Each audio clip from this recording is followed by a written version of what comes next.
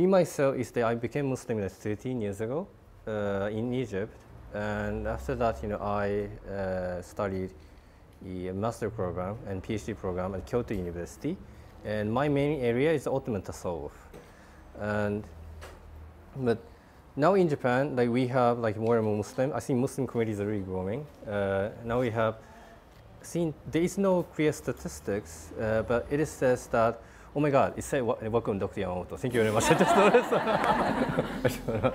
it says like 200,000 Muslims are now living in Japan, like 200,000 Muslims. I think it's, it's, huge.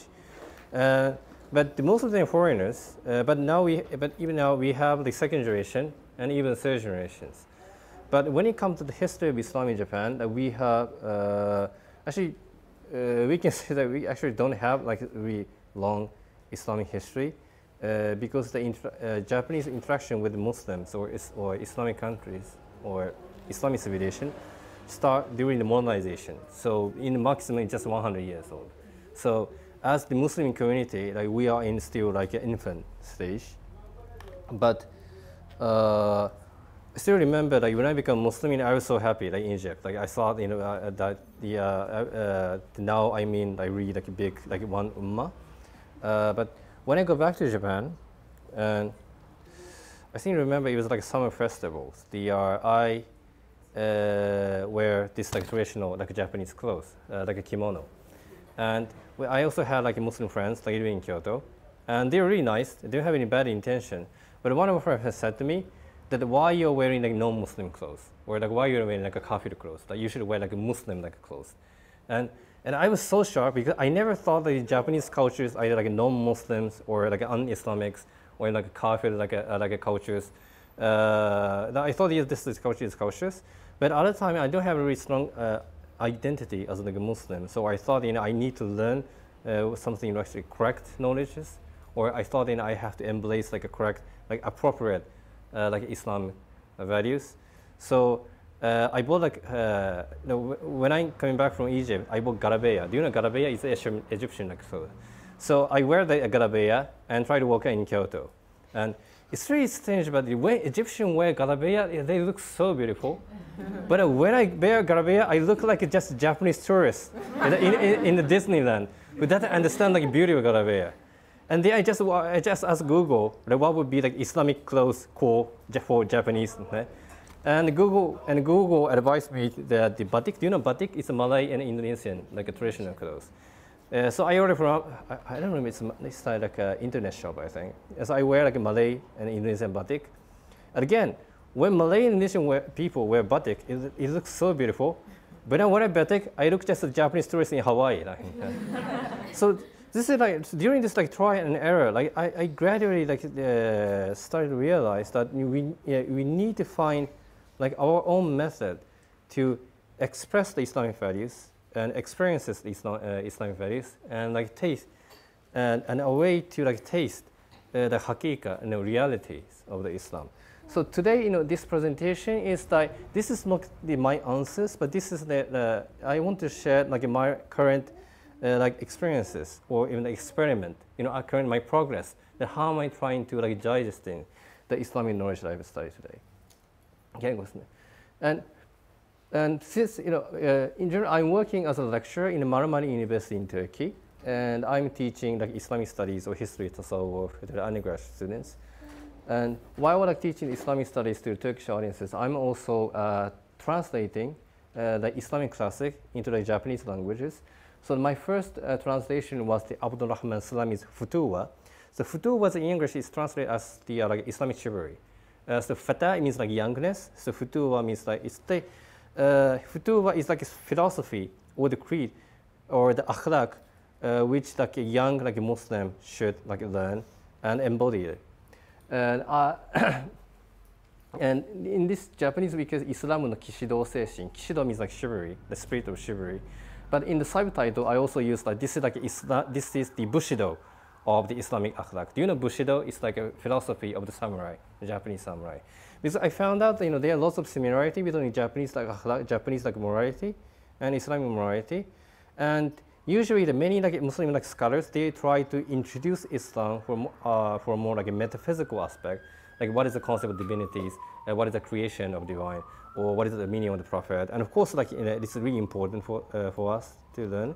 But uh, also, uh, sometimes just one small beautiful act of akhlaq might have a huge impact uh, to like non-Muslim like audiences to understand Islamic values. For example, this futuwwa, you know, content itself is so simple. It said like, you know, sometimes when you see the person who are hungry, you should give food, or uh, when you uh, when you uh, when you see a person in like despair, you should be stay with them. The same thing, everybody can say it, but I saw this manifestation futuwwa, you know, when I traveled to Egypt, you know, when I was a non-Muslims. Uh, uh, at the time, I, I experienced the first, first Ramadan there. And in Egypt, there is a culture called Ma'idat al-Rahman. And Ma'idat al-Rahman is the, uh, like, it means like table of like, uh, the merciful. Uh, it is the, in Egypt, during Ramadan, like every family prepare like extra food and they, and, and they put it on the, like, either on the street and everybody can eat. And at the time, you know, I, was the, I was studying uh, classical Arabic in language schools. And after I finished the classes, I'm going back, uh, I was going back to the apartment. And in the apartment, there is the bawab. Bawab is like a doorkeeper the garden. And he was having his iftar. He was just, he had just like one bread and one cucumber. And he was eating cucumber. And doorkeeper like saw me, and I saw him.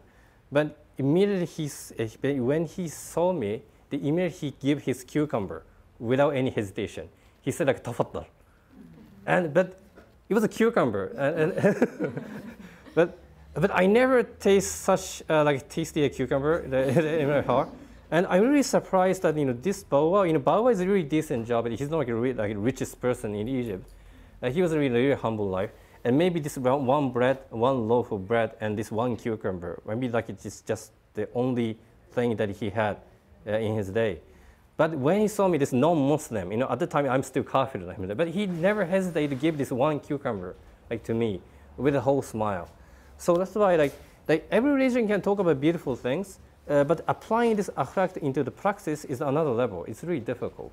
But in Japanese Bushido as well, like if you read by the, if, there's millions of books about like Japanese the philosophy. I don't know, like minimalism or like ikigai philosophy or I don't know, the KonMari method of you know, uh, organizing the houses. But like, everybody talk about beautiful things, but in Muslim, the, in, they are, like, I know the, Mus the most Muslim country, they are facing the challenges, but still, they even just the, in the street, one of the poorest street, they, they are like a person who tried to put this beautiful akhlaq into the practice.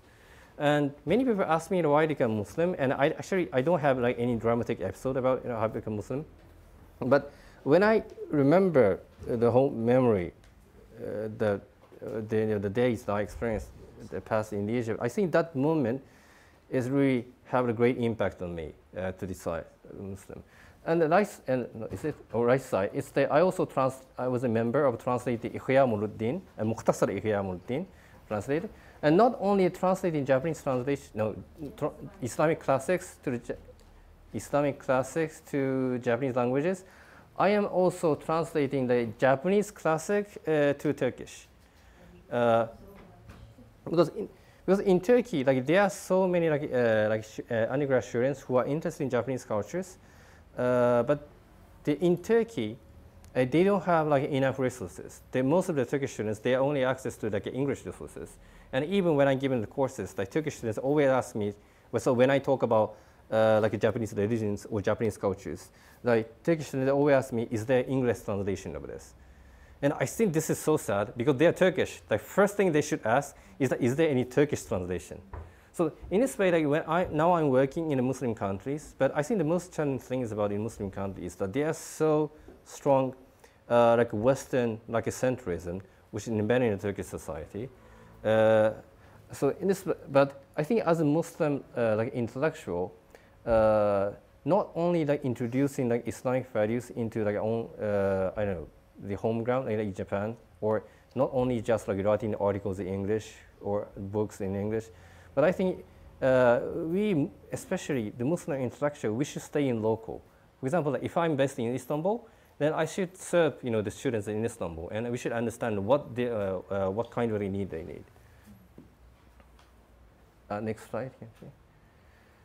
And this is the, as I said, this is my like last two, three years, like I've been working on this like project. So uh, about imagining the Japanese like Islamic cultures. Uh, there is like a very short essay in the uh, website called Traversing Tradition. It's titled, Is it possible to create Japanese Islamic cultures? Uh, uh can you, next slide? But uh, in this essay, I also use the word Islamicate. Uh, I'm carefully using the word, the, using the word like Islamicate instead of using the Islamic. I only use the Islamic when it comes to related to like religious aspect, as like a dogma. And when it comes Islamicate, uh, I follow the definition of the Marshall Hodgson. So Marshall Hodgson said this Islamicate means like a cultural manifestation of the Islam, uh, Islamic values, uh, which can be practiced as enjoyed by both like Muslim uh, and also like non-Muslims.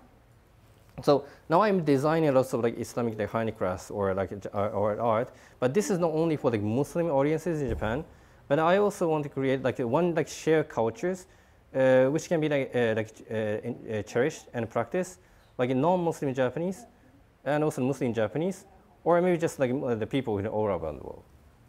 Can you see the next slide? Oh. And by the way, I also ch asked ChatGPT. Uh, because this is a new project, nobody does this. So I just, I just ask, you know, this smart chat, how can I create Japanese Islamic cultures? And this ChatGPT is so kind, uh, kind enough to give me like 10 list of the advice how can create a, create a Japanese Islamic cultures. But actually this is amazing how detailed he knows it answers. But can you go to the next slide? Do you know like Midjourney? It's like a generation like AI. Like if you ask this program, if you write a prompt, this uh, AI would draw like a visual image of it. And I asked also the same question, like can you imagine like Japanese Islamic art and cultures? And this is what the AI draw it. And for me, I don't know, like you also the Japanese, but I don't think this is Japanese art. Like, actually, I don't know what, what kind of art it is. So I think this is what, you know, what the, the shortcoming of the deep, this deep learning AI. Like this, uh, they're really good at like discursive accept. Like they are really good at articulating accept, but actually just just playing playing on the words. So it means like they can talk about they can talk about the apple, but they haven't tasted the taste of the apple. So, and and right now, this I'm sure this chat, you know, this deep learning AI will develop within five years and ten years, and I think and this and, and, and very soon, you know, they they exceed our intellectual level, but only on I think as like written text. I think uh, when it comes to the art, like this creative, like tangible art, I think there is some area that humanity like can show. So this is why, I mean, not just like writing the articles, essays, the books. You know, I, uh, uh, I started like, working on the traditional artists in Japan, and I talk with them, and I explain like, like it's the like I explain like Islamic uh, like classics and also the history of Islamic art, and now I'm trying to design the so-called like Islamic uh, handicraft altogether. Okay, go in the next slide. Oh, by the way, I also asked another question. Like, imagine like Japanese like Muslims, and this is how you know this Midjourney like designed it. And he may be like a Japanese, but this clothes is not like Japanese like a clothes. And when it comes to like this female character, like I, I don't know what kind, uh, how how, uh, how come like he, he, I don't know he or she, but but this deep learning AI design like this because this architecture is not Japanese at all. This clothes is I don't know maybe like half Chinese or half Japanese, but still it's not Japanese. And this hijab, is this hijab exists everywhere. And, but one most pro problematic point is that this Midjourney understand the word Japanese is the kind of like ethnicity. Because this is how it see in this face, uh, this male like characters. Uh, but right now, uh, but uh, the reason why I see this like problem, because in Japan, now we have, as I said, now we have like 200,000 Muslims living in Japan, and we have a second generation, but they are, but they are like, we have like a Pakistani Japanese, like a Malay Japanese, or Palestinian Japanese, or uh, like Indonesian Japanese, or Egyptian Japanese, and they are all Japanese, and this is means like I think now we are entering the stage that we have to define and, and many people think that you know, Japan is like homogenic like society that where only like this Japanese Japanese are living there, but actually this this Japanese is also not Japanese like they're actually real native Japanese are now living in Hokkaido. And they are, they are Ainu know, ethnics. You know, they are like a native Japanese. And we are Konkore who came like thousand years ago. So what I want to say is that if we want to, if I want to create like a Japanese Islamic culture, it should not be like a superficial, like far right wing kind of uh, like a pure like a Japanese culture. we should we should try to like uh, uh, like exclusive. Uh, like I, I, hope it doesn't make uh, it, it, uh, it makes sense, but like if I want to create like especially like Japanese Islamic culture, this culture must be like a reflection of the realities or like a diversity that now the Japanese Muslims are enjoying. So that's why like uh, when I when I'm designing this Japanese Islamic handcraft, like I'm not presenting this as like a pure like a Japanese culture, which can be like uh, which can uh, purify the uh, like contaminations of the uh, uh, I don't know the like unpleasant like element, which is sometimes a far right wing group in Japan like claiming, because. Uh, because actually, this is how the Japanese culture developed. Because now I'm wearing kimono, right? This kimono. Everybody knows the word kimono. And do you know what the name of this inner kimono? It's called juban. Juban. Uh, for example, this is say naga juban. But this juban is not Japanese. This is a translated word. It's, it's the word came from outside. Can you say? Can you guess what is the original word? Juban. Arabic. Arabic. Eh, Arabic. Yes. Jubba. Jubba. This is jubba. Yes. So this came from Portuguese. So actually, the origin was you know the, the, this is based on the jubba, which are wear in the in the Muslims and the Andalus. And from the oceans, you know, the, uh, this jubba came to Japan, and the Japanese like tea artists or the Japanese samurai, they love you know the beauty of this jubba so much. So that's why they started to wear as like inner clothes. So actually, this is not kafir clothes. Like, this is Muslim clothes. so this is the Islamic clothes. This is the Islamic clothes which is enjoyed by both Muslims and non-Muslim. So now I'm wearing like half Japanese, half Arab clothes. So this is what the culture should be. So uh, I keep so when I interview, like some people ask me that, that what is the purpose of creating Japanese cultures? Because I'm trying to, uh, I'm engaging in this project to prove that there is no such thing as like pure cultures. That when you, can, uh, for example, like now you're living, living in the UK, but I think the British culture is a good example. Like what is the pure British cultures? Like, is there anything that like pure British cultures? Like, like drinking tea? Huh? Huh? We like to make the joke that it doesn't exist. Oh yeah. For example, like when you say like the Britain, like which Britain, like Roman Britain, or like or Brit or or the England, or the United Kingdom, or even drinking tea. Like drinking tea is not British cultures. Like the, they just you know, stole it from India and China. Like, you know. see, uh, and so that's why you know, actually the culture is a reflection that how the human society is like a complex, and this is also how the Japanese culture should, should be. Do next. And these are really important like articles uh, which I really learned a lot. It's the, uh, written by the Omar Farooq Abdullah. It's the Islam and the Cultural Imperative. And he said that you know, this in Islam is like a crystal clear liver. And if water is like pure, like this, in the water of Islam is pure and sweet and life-giving, but having no color of their own, and reflect the bedrock out of which they flow. Uh, and in China, Islam looks Chinese, and in Mali, it looks African, and, and sustain the cultural relevance, distinct people, diverse places, and different time underlay Islam long success as a global like civilization. So I think this is really like a uh, like a strong like statement. Like Islam itself doesn't have any, any color. Like it just like gives uh, like a life-giving force uh, to the, every like a local like a, uh, like a land. And just like actually Islam it gives us a clear perspective how we can like respect uh, like, a, like, uh, like a diversities of the humanity. Uh, and, and sometimes you know, Islam gives us like a new creativity how can we redefine the local culture. I can do next. And since you know I am based in Istanbul, uh, I think you know this Ottoman culture is one of the good example. For example, the, many people think the Ottoman culture is like a Turkic culture, but it's not. Like the Ottoman culture is composed of like Arab and Persian and the Turkic, and also like Chinese like a cultures. Next slide. Do you know this like Chini like uh, like art? Uh, it's called like Chini art. It's it's uh, it's used in like a Turkish like a tile uh, art uh, the art, but uh, they these are typical like a Turkish like a pattern which consists of three circle, and actually this come from uh, this Chintamani like art, which and actually this is like a Buddhist art, like Buddhist pattern. But this the Turkic artists uh, they embraced in this uh, the and they uh, they use it for the like Muslim art. But it doesn't mean that this Turkish Islamic art has like a kafir element or like an or contaminant element. Like this is how the culture should be.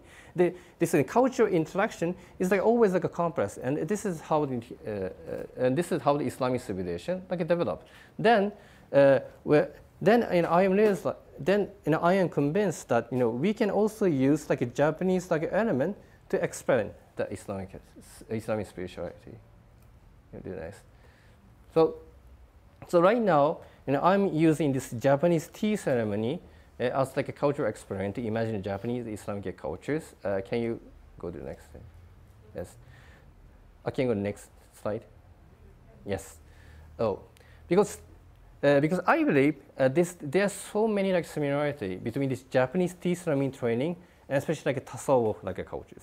For example, this left side in the picture, know, this is uh, this is the uh, uh, training, the traditional tea room, and you know the person in the center, she is my master. She is my master of the tea ceremony, and these are like her students.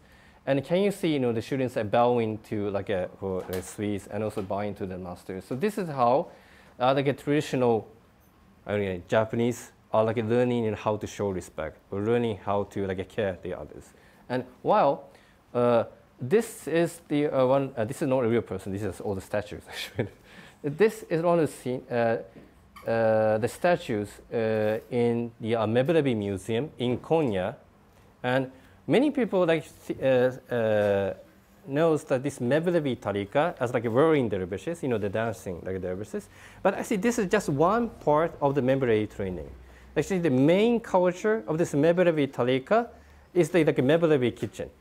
Actually, it happens to be that this name of this place is Mevlevi kitchen. Because uh, this Mevlevi tarikas, once the students enter this tarika, the sheikh, you know, the master, the master appoints the students to, to, to the job in the in the kitchen. And this is like a first step of the, you know, the murid uh, to learn the spiritual training. So the, this murid uh, like uh, studied how to like cook the rices or they prepare the soup or, or cleaning like a floor. And so, and in, in Turkish, uh, there is a famous word uh, by like Rumi, the hamduk, pishtik, yandik. Hamduk means I was raw. It means I, was, I, I didn't know anything. And pishtik, it means I am cooked. It means I am cooked by the master. It means like I got this spiritual education and yandik is like I, I, now I'm burned by the love of the divine.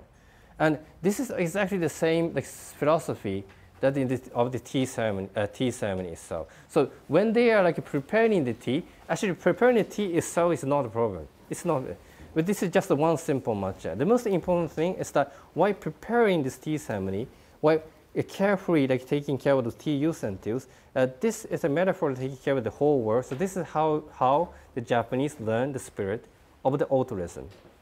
That's why uh, I imagine that if this Sufi tariqa, maybe like Naqshbandis or Mevlevis or Halwati, any other tariqa if they arrive in Japan in medieval period, then I'm sure this Sufi tariqa would use this Japanese tea ceremony uh, for like tasawwuf, like spiritual training. Well, for example is, for example, this is the Uzbek Tekkesi. It's the uh, Sufi lodges for like Uzbek immigrants. Uh, it's located in Istanbul. And when you uh, now it's not it's, it's, used as the uh, like educational institute for Islamic studies.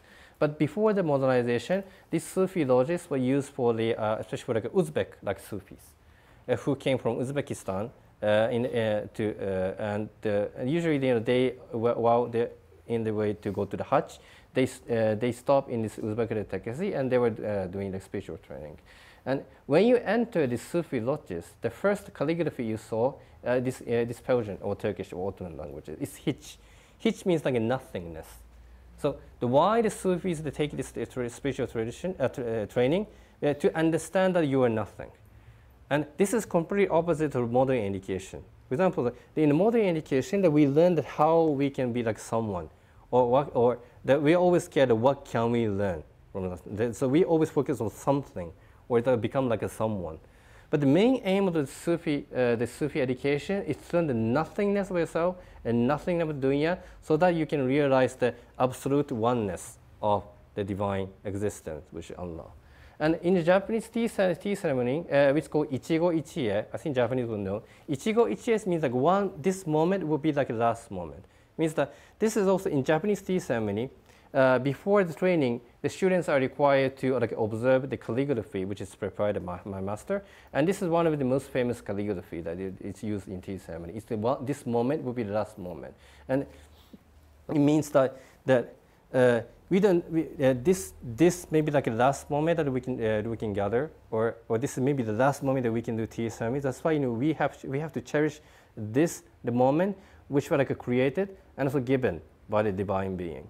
And if you look, uh, if you like study like a Sufi, like a classical text, there is a certain terminus called Ibn al-Waqt. The Ibn al-Waqt, it means like a son of this moment. It means like that those who reach to the haqiqah, those who understand the reality of the Islam, knows that in every moment is precious, uh, precious and every moment is equally like, uh, precious. So this is how uh, like I, I, I started to find there are like so many like a common like spirituality like between Japanese uh, culture and Islamic cultures. I can go to the next stage. And by the way, you might. Oh, by the way, are you read, uh, are you reading manga? Do you know manga or anime?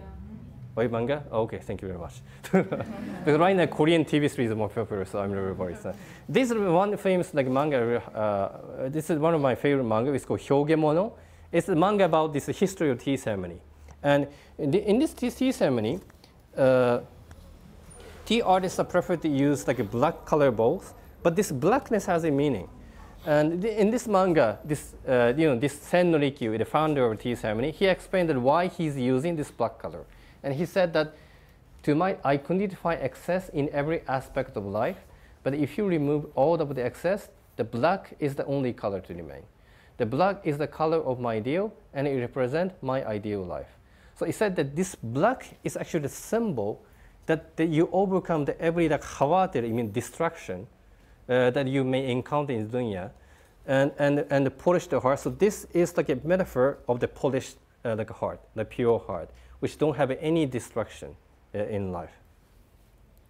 So, and another famous art which is used in this tea ceremony is this kin, kintsugi. It's a gold repairing. Uh, this gold repairing is based on the Japanese philosophy that actually this is not just try, uh, try to make like a fancy like a, uh, like a bowl. Like usually this bowl is made of ceramic, so it's really to get broken. But this bowl is actually the metaphor of a human being. It means that when you live in this life, like, uh, it is inevitable that you make mistakes. It is inevitable you, that, you, uh, that you will get like despair or you will face a lot of challenges. And sometimes you get like broken uh, and or cracked. Uh, but what is important is that you will repair yourself with the gold. It means that this gold is like making repentance and try to become human. So this kintsugi like bowl is actually a metaphor of the, like, uh, of the fragileness of human being and also the beauty of the making or repentance. And anybody who read like Islamic classic about tasawwuf, that you, that, you, that you would know that what is the first, the first chapter of the you know, Sufi like classics? It's the tawbah, you know, repentance. So this is how the, you may like, like uh, you may think that this Islamic is, uh, Japanese culture is alien to Muslim, but actually not. What we need is the, this process of semantic reconstructions. Like the, we can, the, we can use this Japanese like method to explain yeah, like a beauty of Islam. The next. So, on, by the way, this is the, uh, the natsume is like a tea container, which in the in Japanese tea ceremony, and usually this is nuts. Uh, and by the way, natsume means like a tamur in dates, dates, and why? And actually, dates will never grow in Japan. So this is also the good example that Japanese artists have very open-minded in, in the 15th century, 16th century. So they, uh, when they import like dates from the other country, usually from Philippines or maybe Arab countries, you know, they love the, you know, the shape of the, of the dates. So that's why they named the tea container as like a dates, natsume. Mm-hmm. So that's why I keep saying the dates not such thing pure like Japanese cultures. And this natsume is like usually it's designed by, oh, can you go to next? Oh, so now I'm, so this natsume, uh, it's preferred to use, uh, so uh, you can see lots of like traditional like Japanese like patterns or sometimes, or even we, they have like a Christmas like a tree like a natsume. uh, when uh, they, they, when they, uh, so they use this natsume in, in, in the Christmas. But uh, I have started that maybe I can uh, I can design like like Islamic natsume. So I found one. Oh, can you go to the next slide? I so I uh, so this is the, my friend. He's traditional this lacquerware like an artist uh, who are designing uh, like a like a new lacquerware like a handicraft in Kyoto. So now I work with him and I, I discussed with him what would be like an Islamic like a natsume, uh, uh, so that you know, to, to introduce Islamic spiritualities. And next slide. And this uh, Jami is in the, uh, is Ulu Jami, is located in Bursa. It's the ex-capital of the Ottoman Empire. So Istanbul is the last uh, capital, and uh, Bursa is the ex-capital. And this Ulu Jami is really famous for Islamic calligraphy. I don't know how many people have been there, but it's so beautiful. It's the, it's the, the that you, when you enter this jami, you can feel that this jami, this Islamic calligraphy is like a manifestation of the Allah like words. So, and this is the, my most favorite like Islamic calligraphy in Ulu Jami. Uh, so this four wall is represented. Uh, so, izzat lillah wa mu'minin wa munafiqun la So this means Allah and Rasul and mu'minun wa munafiqun. So this uh, so it means that this, this explains the four levels of being, like Munafiq and Mu'minun and Rasul, in the Prophet and Allah. And another, another interpretation is these two wa represent the Asma Husna, the beautiful names Allah. So this is like, so this is actually represent you know the zikr in Allah, Allah. So that's why I have designed. Next slide. Like uh, this Urujami Natsume. So I think, I'm pretty sure that this is the first Islamic tea container in the history of Islam. so I'm saying this is the history. I, I, I, maybe if I die, in, I don't know, Allah, may Allah protect me. But uh, please, somebody donate this uh, tea container to the British Museum somewhere. That's so, so I will explain the detail. But during this tea ceremony, uh, there is a moment that the tea, uh, the tea artist uh, purify this tea container with a special handkerchief. But when they are polishing this tea, tea container handkerchief, actually this is the metaphor of the uh, uh, rectifying your heart, uh, uh, uh, polishing the heart. So that's why you know I put this uh, like uh, like this Islamic calligraphy on the tea container because when you when you when you are cleaning this tea container, maybe you can make zikr like Allah Allah Allah Allah. And another another design that I, another tea container I have designed is called Hiç Natsume container. Uh, because this hiç is I show is I, I found this in calligraphy in Uzbek It's It's Sufi lodges for the Uzbek immigrants. So this hiç means like nothingness.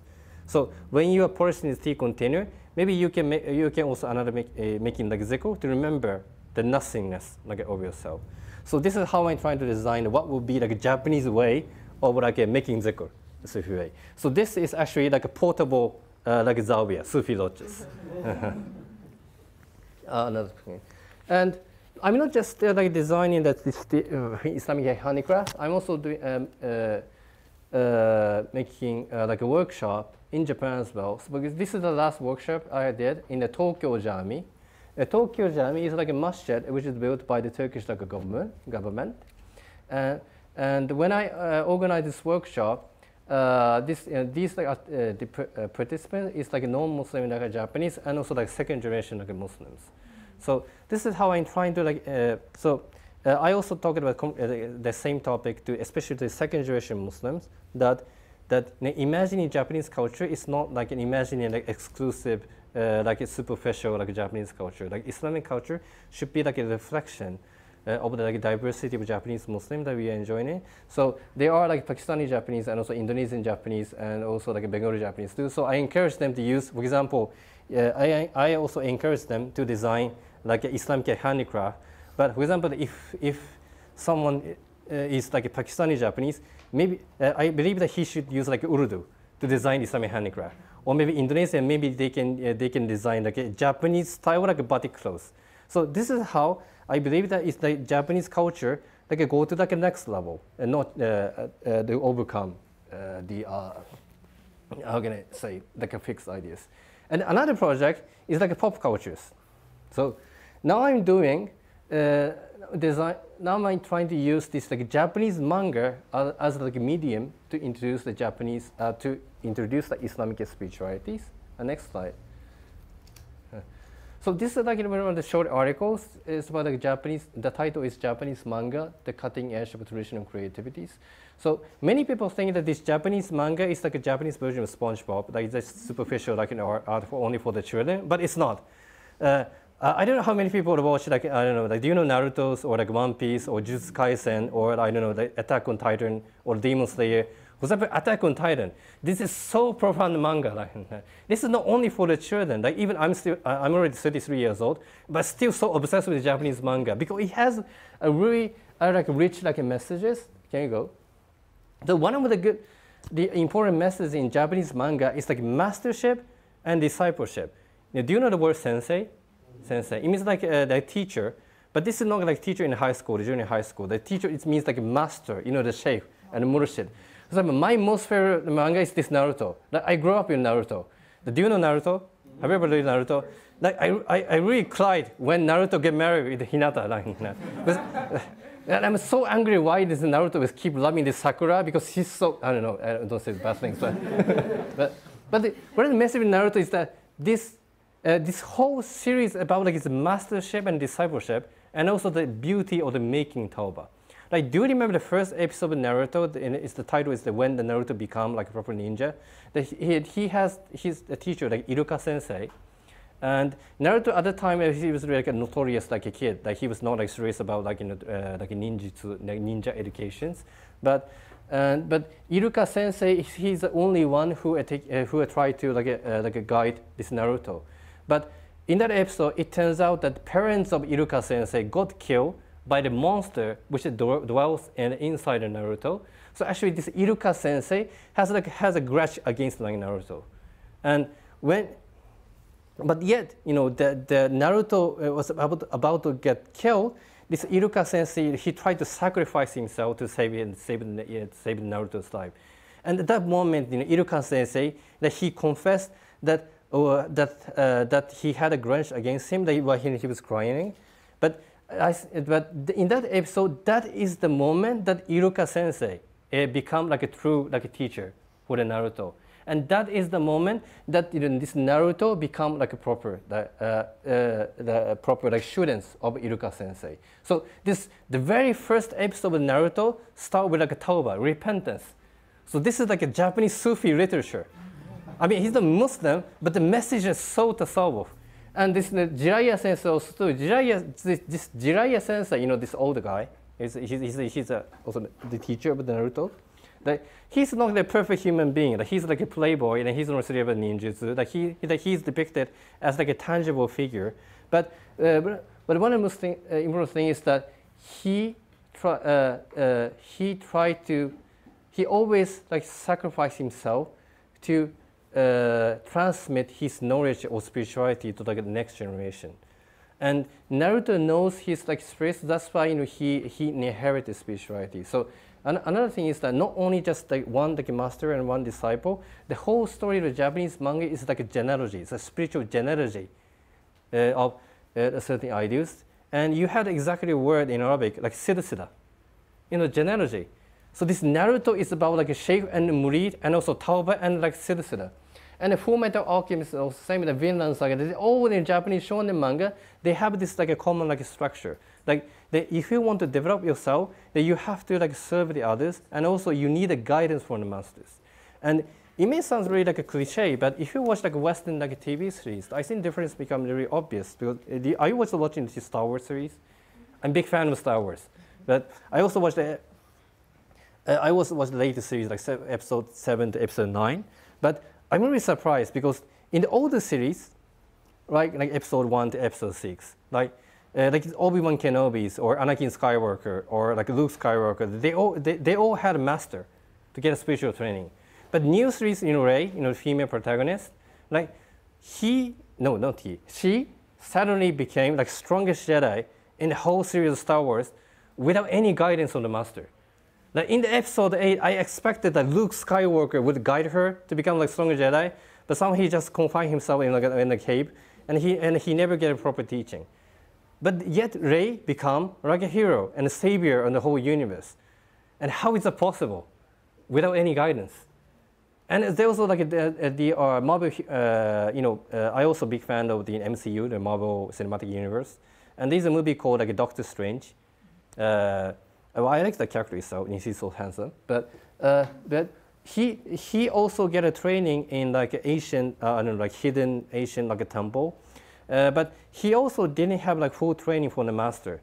And this master suddenly passed away. But in the next series, in Avengers, this Doctor Strange suddenly like came uh, appear as like strongest magician in the whole history of this Marvel cinema, cinematic universe. And yet, how is that possible? And I interpret, I don't know, this is just my idea, but I think the whole this Western TV series like a reflection of, I think, identity politics. It means how this protagonist became like a best person because they define themselves so. But while this Japanese shonen manga, it's impossible that protagonist become like uh, become like uh, uh, a stronger person or the most intelligent person in this world because the Japanese like literature the, or Japanese shonen manga is really emphasize the importance of the training from the masters. So that's why I said that this Japanese manga is actually the only remaining like a Bildungsroman, you know, the novel of the spiritual like a cultivation. And I think this is why I think that, if, for example, now I live in Turkey, but there are like millions of you know teenagers who love the Japanese manga or like Muslim students, because I think you know they are somehow like getting this like Islamic like a message when they're reading or they're watching Japanese anime, even without knowing it. Go to the next stage. Oh yeah, you can go to the next stage. This, is too otaku thing, so I will just skip it. And another good thing about Japanese manga is Japanese manga is a really influential medium to like introduce like a traditional like Japanese cultures. For example, left side is this the manga is based on the Japanese like sit down comedy. It's not stand up comedy. It's a traditional uh, like a comedy or art play, uh, uh, continued from the Edo period. And this one is the manga for traditional like a dance. So, uh, but can you look next please? But then, then when it comes to that, it means like when while seeing that these ja Japanese are really good at like uh, introducing their traditional cultures, not only to the Japanese audiences but to the world. Uh, we should, I think, uh, critically thinking ourselves that how we are successful in, in introducing the traditional like Islamic like knowledges. For example, this is a quotation of the you know, Turkish uh, like a poem. It's, it says ilim, uh, ilim ilim bilmektir, ilim kendin bilmektir, sen kendin bilmezsen bu nice okumaktır. Uh, this is the poem of the Yunus Emre. It means that knowledge is like knowing the true knowledges and the true knowledge is knowing yourself. And if you don't know yourself, then what is the purpose of learning? So actually, this is a Turkish like translation of the man arafa nafsaf, kad arafa rabba. That when you know yourself, then you know Allah. But right now in Turkey, for example, this uh, since uh, this poem was written by the late uh, Rum Seljuk period, so this Turkish poem is written in Arabic alphabet. But now in Turkey, like uh, how many people can read this like a traditional like a Turkish text? I think so few. I maybe like I think less than 20% or maybe less than 10%. Mm. And when it comes, or even the whole like Muslim community, like how many people know that this like traditional Islamic knowledge is? Now it's so few. And that's why, for uh, can you go next stage? I did a little bit of experiment with I put, I designed uh, like a samurai looking character uh, under this, you know, this poem, and I show it to like a Turkish students who can, who, who can read this traditional like, uh, like, like Turkish like a poem. And, but the, these students, even though you know they cannot like, read this poem, but they but they were able to guess you know what uh, what kind of topic that this poem is talking about, because I give like a visual image, and there are some like artists criticizing uh, like drawing like human characters or the, or the picture in general, or sunny in the face. But uh, but if you uh, studies the history of Islam, actually there are so many like rich like like cult, uh, culture of the uh, like drawing or the picture. For example, in Turkey, there is a tradition called miniature. Uh, this is also the Persian art too. And even in Indonesia and Malay, uh, do you know the legend called like nine wali in Indonesia, like wali Songo? Uh, so the one of the wali is called Sunan Kalijaga. he used the shadow puppet play. Uh, to, to introduce uh, like Islam to the like, non-Muslim, you know, Hindu like audiences. Uh, so, and he and Sunan Kalija, he's wali. He's not an ordinary person. He's this Naoki Yamamoto. He's like high, like ulama. But yet he used this picture, like image, to introduce Islam. So that's why, like, I understand. I think there's like a hikmah in the history. So now uh, I don't have like a clear answer. Maybe people can criticize I'm doing like this in drawing pictures, but also in the same time, I think not everyone has that good environment enough to study like Islamic study, uh, in the Islam. For example, I'm Muslim converts. Like before, uh, like in Japan, almost there's there's no madrasa, and there's no like a school to learn Arabic languages. Or uh, or even when I go to university, uh, I am surrounded by like a non-Muslim. Uh, but uh, or even in UK, like in UK now have a big big community, but not everyone has like a good environment to seek the traditional like Islamic like. So that's why I think this the uh, opportunity to study Islamic uh, to Islam is, it should not be confined in only a madrasa or a certain institute. I think there should be like the, every kind there should be like a variety of options to see like to or study about Islam. So that's why uh, after I become uh, before becoming Muslim, I was studying oil painting and I really like painting. But after becoming Muslim, I stopped painting for more, than 10 years. Now I haven't studied, I am doing practice for long, but uh, but uh, for the last year, you know, I started like draw a picture again because I understand that I think somebody, is, uh, I think Muslim also should be in this field, in, in the field of art. Because if the Muslim cannot show initia initiative or creativity in the art, that someone who had more like bad intention can be dominant in this field, and they can use this field uh, for like uh, to uh, make a bad influence in our children. The next. So I, and I was also, you know, uh, the, uh, the, uh, I'm studying about the Sufi history of Anatolia. And there was famous like, book, of, book about history. It's called Aşıkpaşazade. Aşıkpaşazade is a famous historian. And he explained that how Islam spread in the land of Anatolia. Anatolia is, is called Rum. Instead, Rum'a gelen dört grup insan vardır. Biri Gaziyani Rum, ve biri Ahyani Rum, ve biri Rabdarani Rum, ve birisi de Baziyani Rum. He said that there were four groups came to the land of Anatolia. The one is Ghazi, I mean the warriors, the great warriors, Muslim warriors. Another one is Ahiyan. Ahi is a Muslim guild. And Abdalan, Abdal means Sufi, you know, dervishes. And fourth is Bajian. Baj means Persian, it means sisters. This is the female, uh, like a Sufi like organization. So this is the warriors and girls and uh, uh, dervish and female like a Sufis. And I think this is really like a cool statement that it means that this shows that you know the spreading of Islam in Anatolia is not based on or depending on a certain ethnicity or like political ideal. Like Islam is spread in three years through like a vision, especially the vision of Tasawwuf. Can you go to the next stage? I think this is like a Mandalorian thing. This is the Sufi version of Mandalorian because it shows. Do you know Mandalorian? If you don't know Mandalorian, I'm sure it doesn't make sense. I'll just continue. So, for example, I, there's a, my favorite uh, sentence in uh, the word in Mandalorian. He said, Mandalorian is not a race, it's a creed. And this is exactly what the history of Ottoman like history, the Ottoman Sufi history. They are not introducing Islam based on the one ethnicity. Like they try to show like a vision which can be shared not only by the Muslim but also like a non-Muslim. And I have started the project called "What if these uh, uh, like Sufi came to like Japan and and also form like similar like a Sufi group. So this the, so I'm trying to design a fictional character based on like a fictional story. Next. So, so this is the first character I have designed. So do you, do you know this uh, picture? This is called like tree of Futuwwa, Futuvet arch in Turkey. So this is one of the emblem which is used by like Sufi group, especially Ahyan or Sufi like a guild in, in Anatolia. And left side, this is a samurai helmet. So I combine these two elements and I design like a Muslim samurai boy.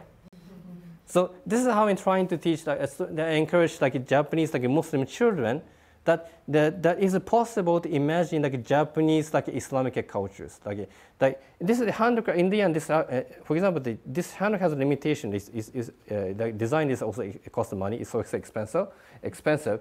But this is I'm using like digital art. I, I'm using iPad. So everybody who have pen and paper can imagine uh, like uh, like a Jap or like design the Japanese Islamic art. And next one.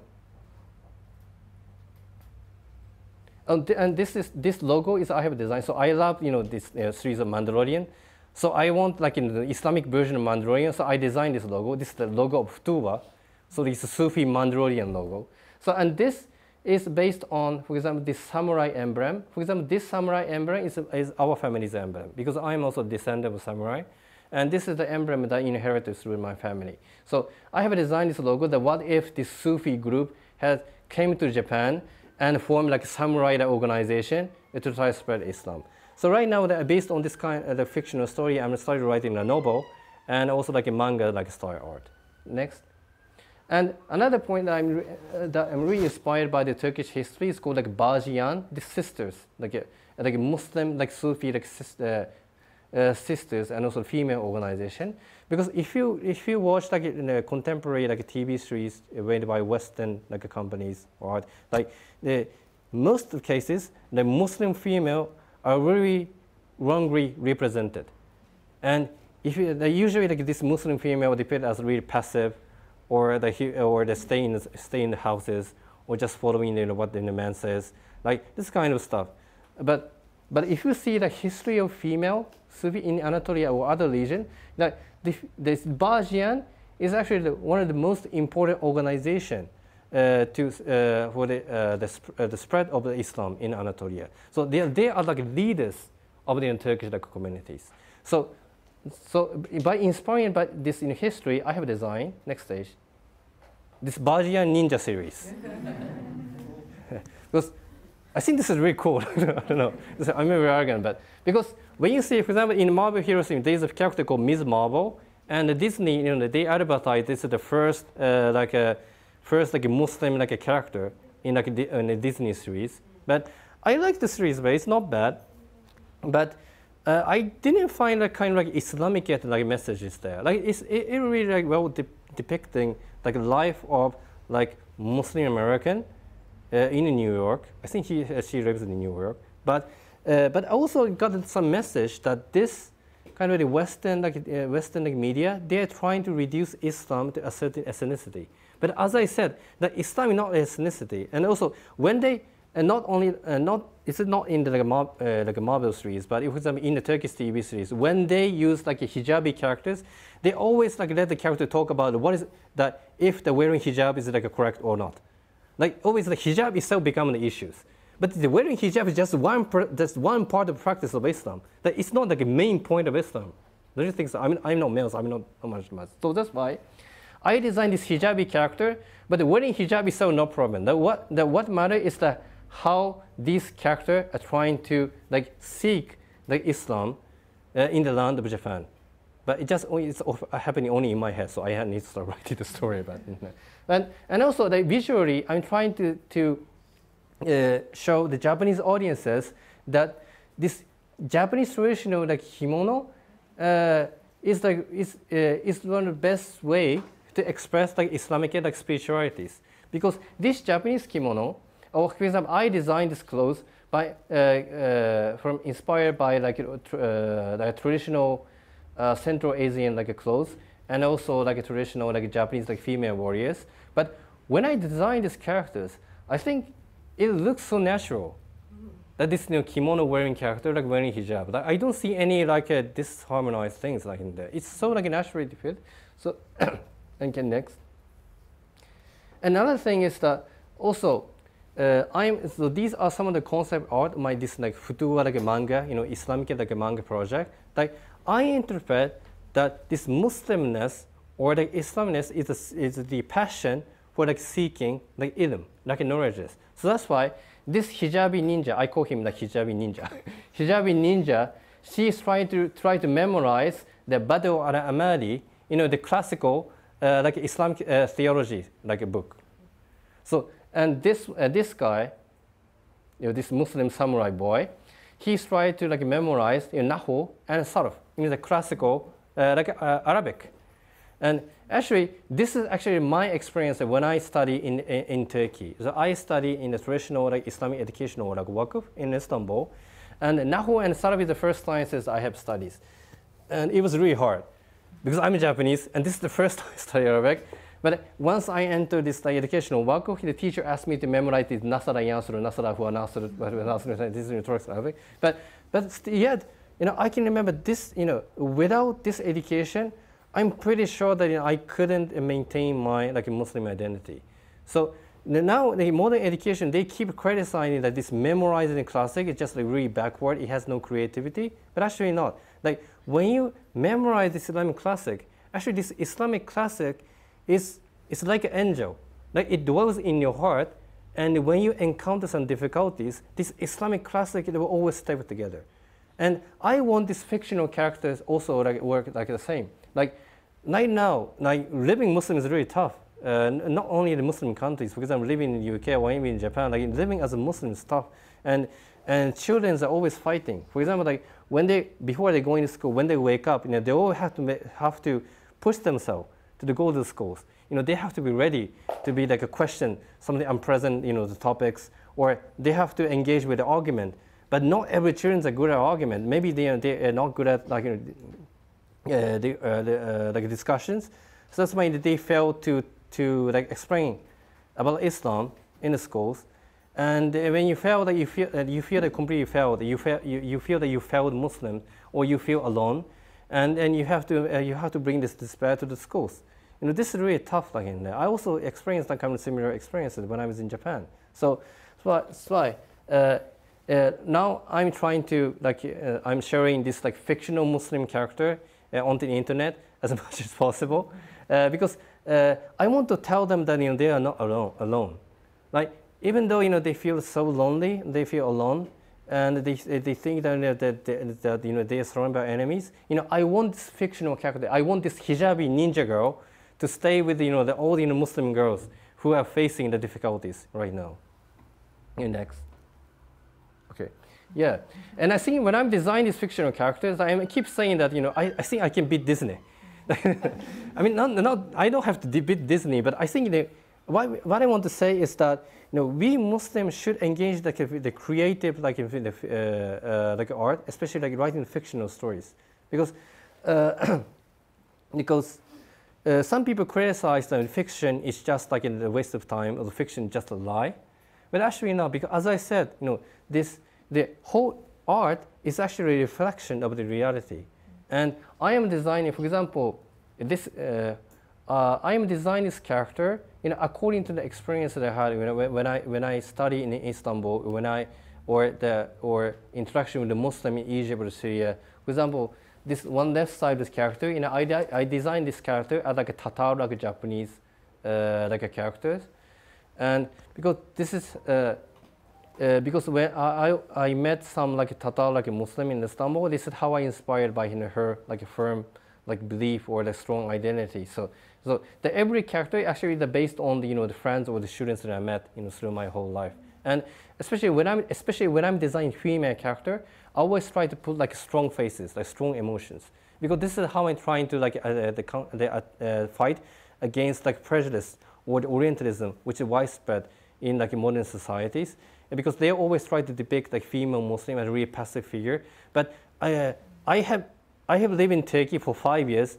I have never seen passive females. they every like, especially even the undergraduate, they they really love to to, uh, to argue with me. So when I say like something, they, they even say that Hojam, I think you're wrong, and they really love to argue. And this is so beautiful. Like just this, uh, not only the Muslim, uh, but the Muslim that they are so hardworking. They have so they have a good spirit, and they are try. They are always striving to make this world better. And I think we need to create like fictional story. We need a Muslim Harry Potter. We need a Muslim Lord of the Rings. You know, we need a Muslim Naruto, and so that it inspires children. Because this fictional world is not like something to escape from this dunya. Like when you when you feel that you failed, when you lonely, when you, when you got hurt, by, in, by living in this like dunya, like this fictional world can work as like a shelter. Like the when you in, uh, in when you go back in your room, uh, maybe you can look, uh, you can read, this, uh, you can watch this art, or maybe if I can write a novel, you can write a novel. But when you engage the fictional world, actually, uh, you, you, you can uh, have time to contemplate yourself, to rebuild and reconstruct. And in next morning, like you can like so that you can gain like energy so that you can go back to the school. And I think that especially in Muslim community that we really don't have this kind of uh, like a, uh, like environment which gives uh, like energy uh, to live uh, like a Muslim. Okay, next. And by the way, this is a little bit off the topic, but I'm also when I'm designing a male character, I'm also designing an Islamic like style kimono, and it looks really just ordinary kimono, right? But since they are Muslim, I put extra element. Can you guess where is it? Hmm? Yeah, inner. Yeah, trousers. Trousers. This trousers. Because usually, when you wear Japanese kimonos, you don't have to wear trousers. Actually, it's really strange. But why these Muslim characters wear trousers? To hide aura.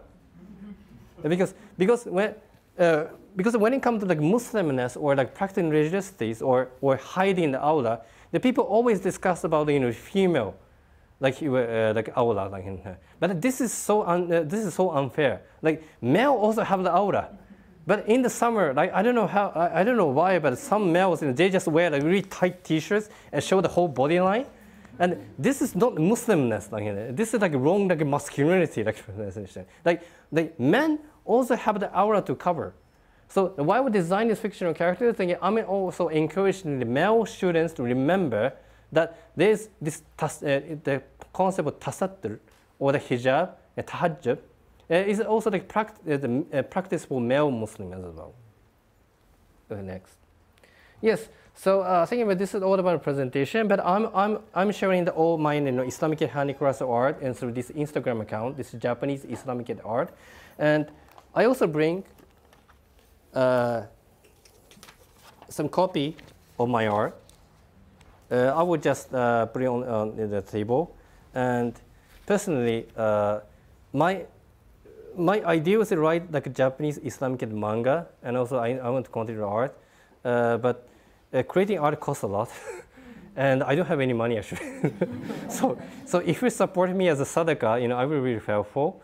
Uh, so, uh, and this is, so uh, if you think, think you feel some empathy to my project, I'll be really happy. So I gonna sell this one, my Japanese art for, I don't know, like 30 pounds. Right? And if you can buy this picture as for the sadaka, I'm really happy. As it's a humble request. So I will just put it here. so, so this is all my presentation. Uh, thank you very much.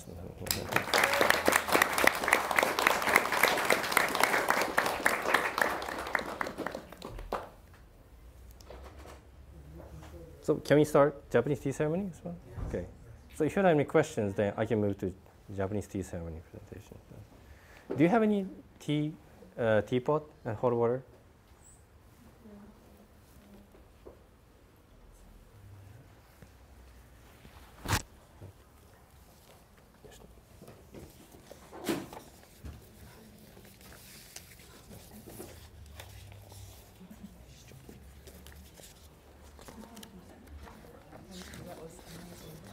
Oh, thank you.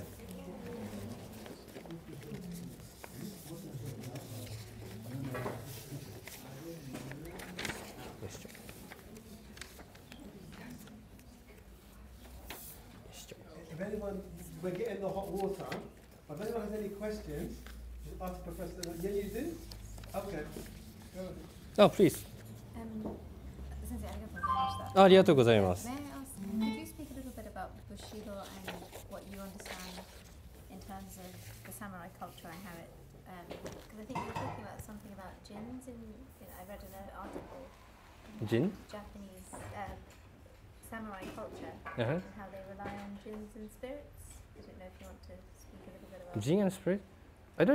Mentioned about and spirits, but uh, but basically, this you know, this this bushido, the akhlaq of samurai is based on like altruism, you know, self-sacrifice.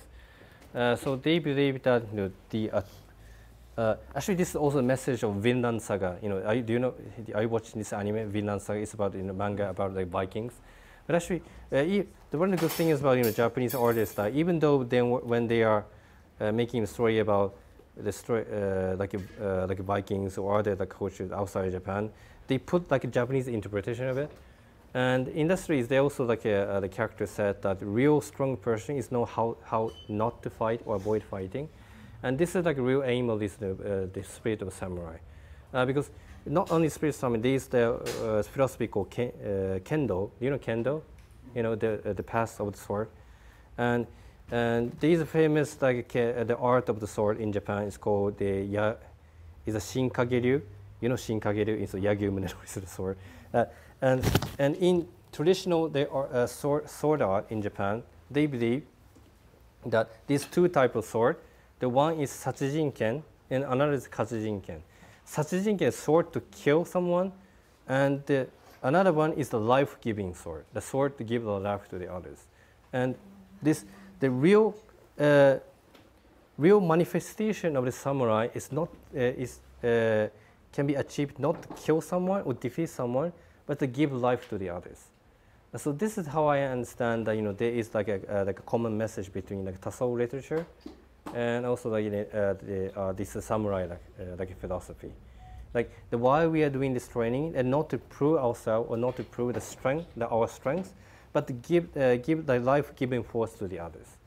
So this is the, the whole this altruism, the spirit of self-sacrifice is I think the main message of Japanese cultures. By the way, where, where did you study Japanese? Uh, in Japan. In Japan? How long have you stayed? Not very long. About a year and a half. Oh, year and a half. Oh, it's enough. yeah, because I'm really surprised that you, It's you, not you ve- It's translate. not very good. いや、上手ですよ、すごい。 Yes, 驚きました。 I like this. No, she's speaking so beautifully. I'm so surprised. Okay. Oh, this? Okay. Please go Yes. I have, a, I have a question.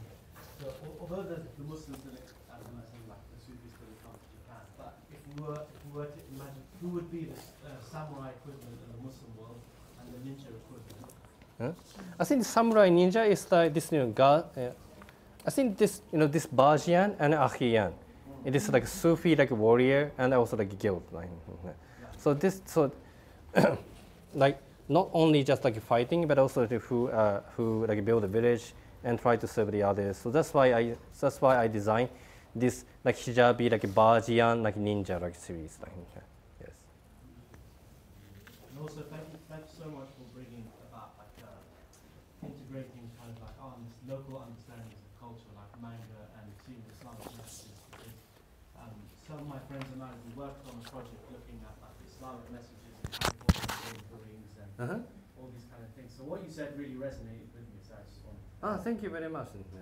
With that, people think that this Harry Potter is just like a superficial, like uh, like fiction story, but I don't think it's not because this whole story of Harry Potter, Yeah. it just it also is trying to show that how this modern like British society is so vulnerable to like the neo-Nazi like you know Yeah. uh, like discourse, which is manifested in like Voldemort, yeah. and he's trying to show that actually this, this you know J.K. Rowling, yeah. you know, she believes that you know traditional like Scottish like a paganic like cultures can be like a last resort to fight against such like postmodern you know, things. This this this is why the last battle you know between like a wizard and a Voldemort happened like uh, in the Hogwarts, Yes. not in like center of London. Like. Yes. So like if you know actually the, the real the proper way to interpret the fictional story, that you can learn lots of like rich message from it.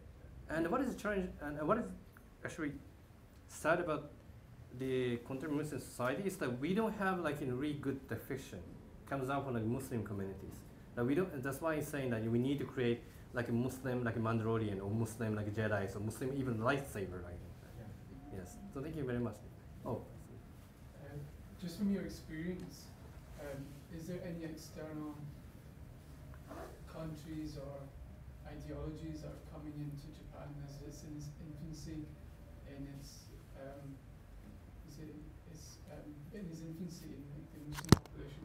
So, are there any external forces that's having an effect? Is it a positive effect? Is it a negative effect? So, I, I, just as an example, I mean, this in this country, there's a lot of Saudi influence. Uh-huh. There's a lot of um, influence, especially from um, like the uh, Deobandi school, uh, where a lot of the a lot of the teachers went to Saudi became imams in the UK, and that has had an influence here.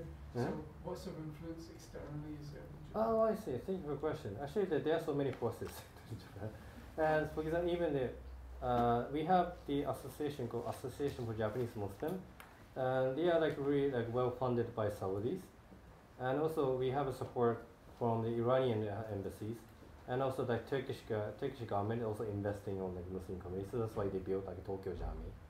So, and I also working with the Turkish people. Then they're really creative, and just uh, and also I know I have like so like uh, Wahhabi friends, and also I know like some Iranian friends, and I said I think it's really important that we work together, but also in the same time, but but if we you know Japanese Muslim cannot establish you know our own identities, or if we cannot imagine our like Japanese like Islamic uh, traditions or art or any cultures, like we can only depend on only like external forces. Then you we can always look about you know we, then we actually when uh, we don't have like intellectual independencies, we only remain like depending on uh, depending on always uh, we always tend to see like a strength behind it, all the people, and I think this is not healthy for the for the Japanese Muslim in the futures. And as I said, now now we already have like second generation, and uh, is um, and right now I met a friend uh, who is like Pakistani Japanese, and now he's like studying at Harvard, in Harvard, you know it's the Harvard one of the, best school in the world, and I think this and I and to some regard I'm quite optimistic about the future of Japanese Muslim. But what is important for the uncles like me uh, is that we need to invest on the young generations.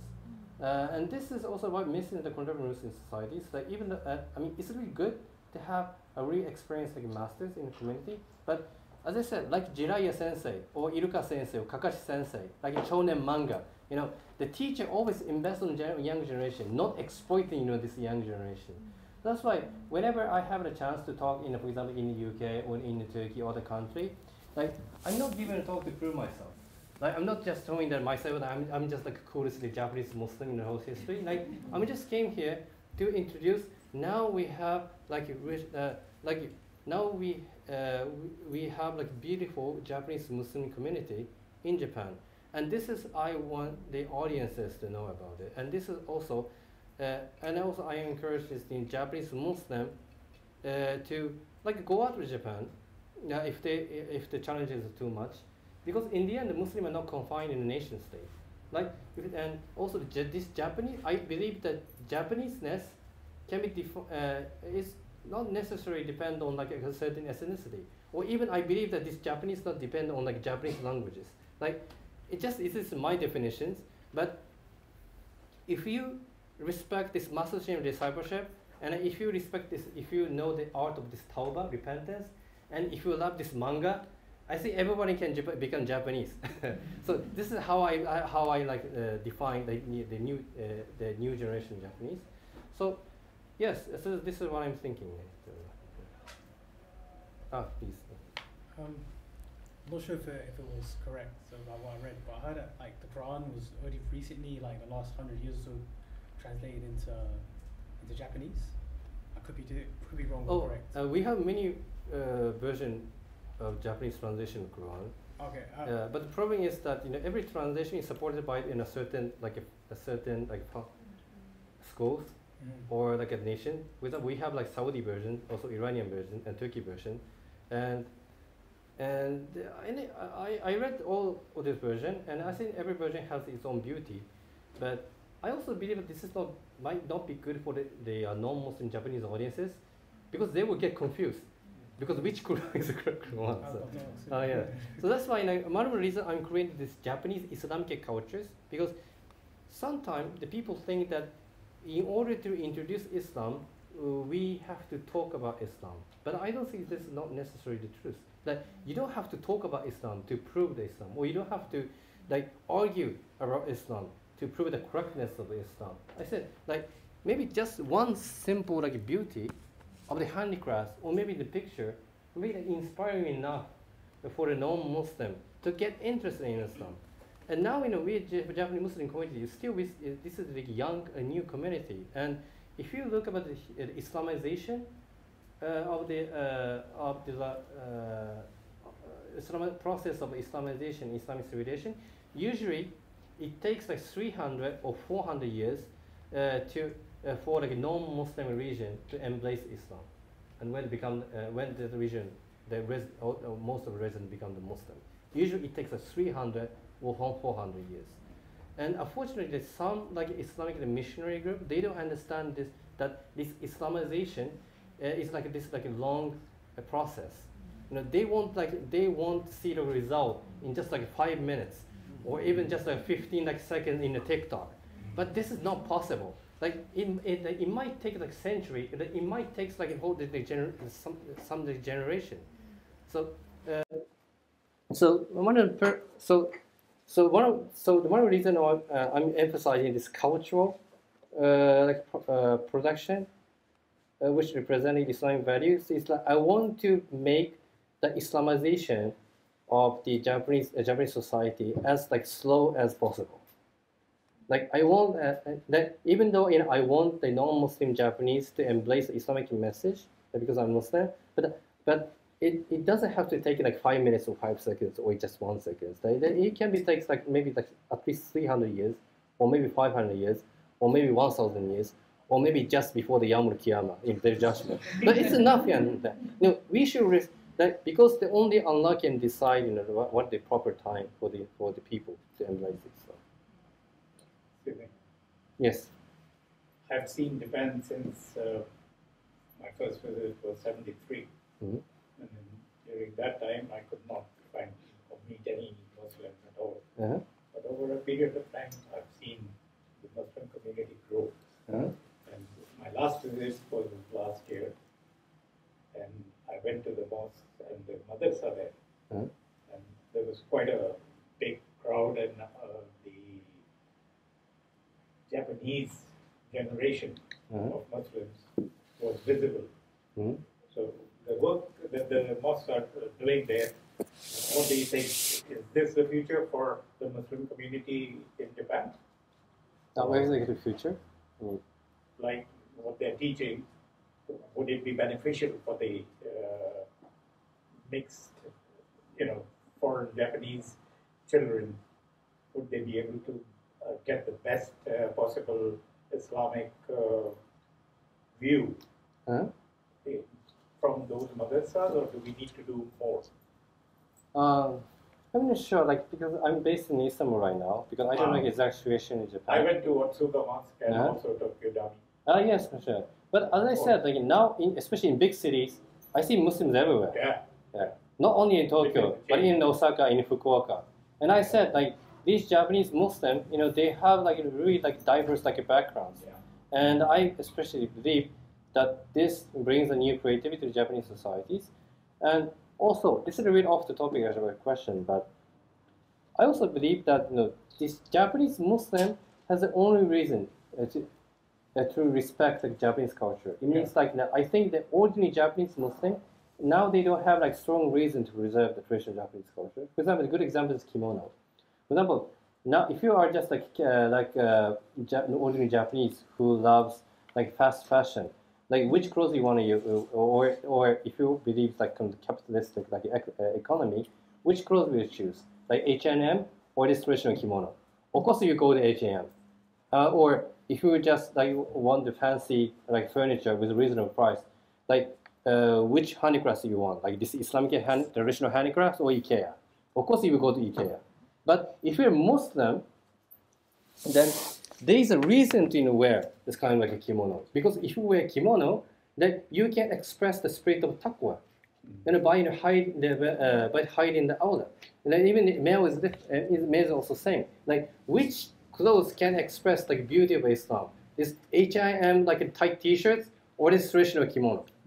This traditional kimono, I believe. Because why- even this inner wear is called jub, uh, it's juba, it's jubba. Now I'm wearing jubba right now.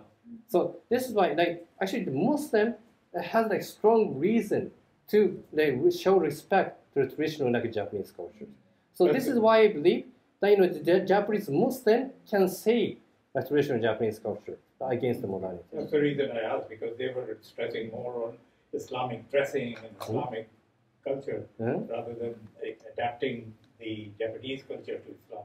Uh-huh. And I find that might be a little bit difficult Mhm. for the Japanese uh, born children Uh-huh. to adapt to.